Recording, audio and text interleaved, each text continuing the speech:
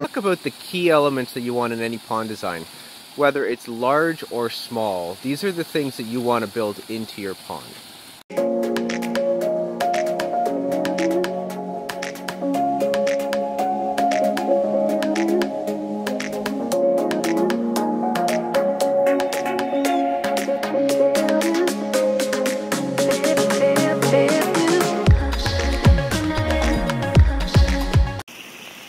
First off, let's talk depth.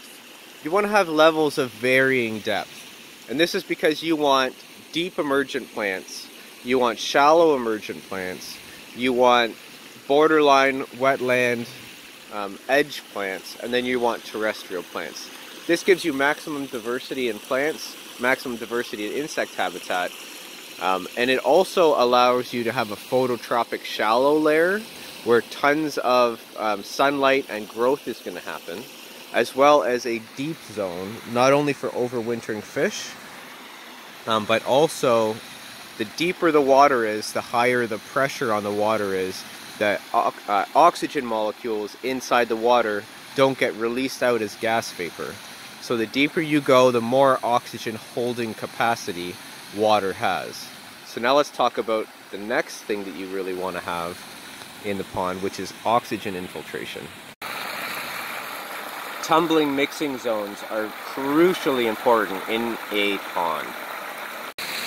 Both animals and plants will perform respiration.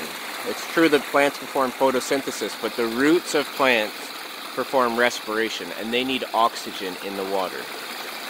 Even more important, the bacteria that lives in the pond like I always say, the good, the line in the sand for good guy and bad guy bacteria is are you um, aerobic or anaerobic? We want aerobic water because we want aerobic bacteria because if we go inside this pond, as well as the animals and plants that are in the pond, um, we want to be have we want to have aerobic bacteria entering our skin pores. You know, if we accidentally drink some water, which this is going to be actually very clean water, um, we want to have um, aerobic bacteria and microbiology coming into our bodies because this is what we have evolved with, evolved alongside, you know, for the last 400 million years or so. Tumbling, you can see all of the oxygen that's being put into this water.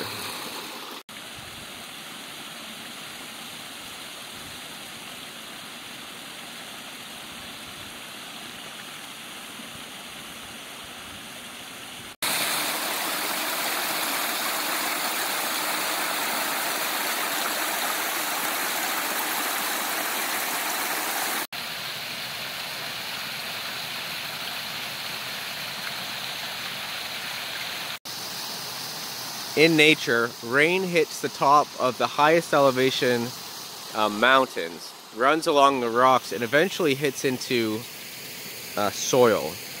It'll run downhill, but eventually it'll collect into lowlands, where it slows down and sinks into the ground, raising the ground table up. Eventually, the groundwater level gets above the soil water level and springs pop back up. Water traveling underground is crucially important. So one thing every pond builder forgets to do or doesn't know to do is build a giant underground reservoir of water.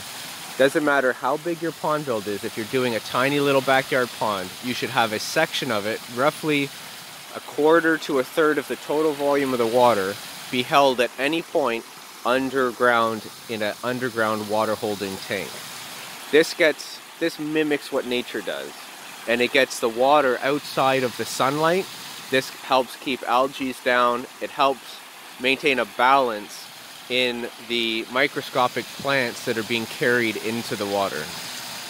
Now as the water flows, it's going to pick up debris that, be, that is deposited in, whether it is soil carryover from where it runs over top of water until it eventually goes underwater and then percolates up through the water picks up soil particles. Those soil particles will settle out, leaves will come in, and what we want in a pond design then is to filter that sediment out.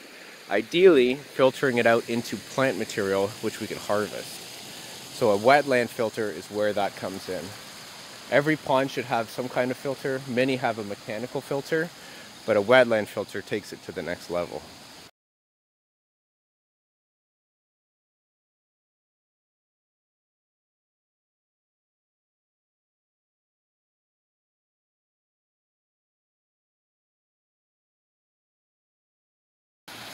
Okay, so as far as pump setup, um, because our pond is fairly deep, we have one that's drawing suction off the deepest part of the pond because that's where it's going to be oxygen starved the most. That's this here. It goes to a, a pump over there and then comes around underneath this waterfall, underneath the, around the wetland. Actually, I think it comes under the wetland, way, way, way down. Pops up and then goes up to the top waterfall. So one of the pumps is this big one and that's our biggest pump and that's feeding the waterfall. Down here after the negative edge this acts as a skimmer box essentially concentrating all the flow and pulling debris over the edge where I can it'll collect in here and I can pick it up. It'll kind of fall down and it'll uh, probably hopefully collect down in here but it'll find its way in different pockets this is the underground reservoir and there's two pump bowls down there. So I have two pumps. One actually goes to the wetland and one goes to feed the waterfall to make the waterfall bigger. This lets me turn on a small pump or big pump if I want a big party pump and then I can save energy if I just want to run a minimum water waterfall for oxygen. So this one pump feeds into the wetland and this wetland um, I'll show you uh, um, photos of putting this thing together and it's basically a giant pit. Um, I'll, I'll explain it actually when I do the photos. But the idea here is that we pump the water in through the bottom and it goes through uh, various layers of rocks, bigger rocks and then progressively smaller rocks. The surface area of all these rocks is where bacteria is going, uh, is going to populate and colonate and then the plant roots, this will fill in um, as these plants get uh, more mature and the plant roots will then also feed on all the nutrients. This is a gigantic filter, much better than a mechanical filter because nature does stuff a thousand times better than an engineer could. And that's coming from an engineer. So the wetland plants themselves, um, there's marsh marigolds, uh, corkscrew rushes, we've got watercress, we've got petunias, we've got bloody dock over there, various grasses. I'm going to be adding in sweet flag just to get a vertical element in, in edible. Um, the pond builder actually picked all these out. Included horsetails, which are invasive here. So I, the horsetails are for the vertical element, so I'm going to swap those out for sweet flag. I have to pick them up from somebody else. Um, I didn't want to get, I didn't want to get the horsetails, uh, but everything else is great. Um, and even the horsetails are fine as long as you can contain them, but I just know here they'll spread. Now this is actually like an interesting part about uh, slow spread and sink water. This water is being pumped up through roughly, I think it's around six feet or so of rock and gravel uh, and large boulders to prevent the smaller rocks from getting down in. So the water's percolating up through all this and the roots are cleaning it all out. And then the, you know, because of the volume of the water is being injected in from this pump, the water level rises and then it slowly overfills. So even though it doesn't look like it, this water is actually kind of flowing. And you can see where it breaks level and the current breaks right here at the choke point, which kind of gives a really nice, a nice optical look. I kind of really like that. You actually have, because this waterfall is so powerful, you, you have some of the ripples coming in here, but the net flow is absolutely out of this system. It's kind of actually doing a neat little mixing in here. And the idea is also that the water inlet is all at this side of the pond because the water outlet is down at that side of the pond. And then also at the bottom of the pond here in the deepest part. So that really gets maximum flow and turnover of all the pond water back down into the underground reservoir where it spends half of its life outside of uh, sunlight. And this really helps keep the algae down. But this wetland filter is um, a critical and very, like this is probably my favorite part of this, despite how beautiful the waterfalls are and what an amazing job the builder did on the waterfalls.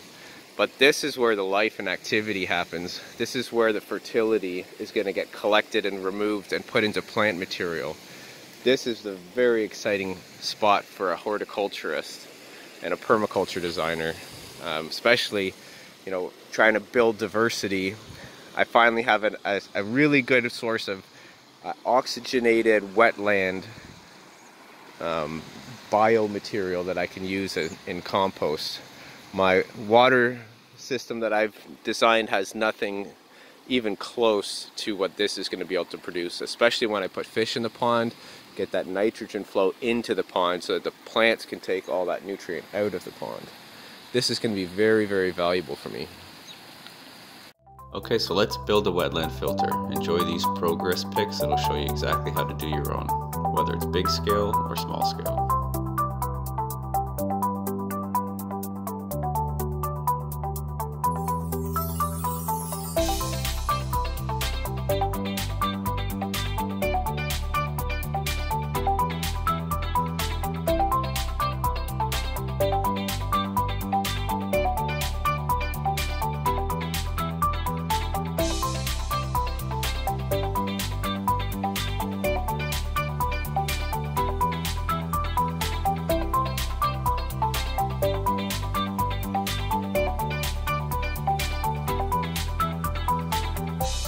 Diffuser seen here spreads the flow of the water out, and the riser allows you to drop a sump pump in there and clean out any sediment that collects at the bottom. The AquaBlox provide both the structure to hold the rock that's above it, but also the void space to hold water.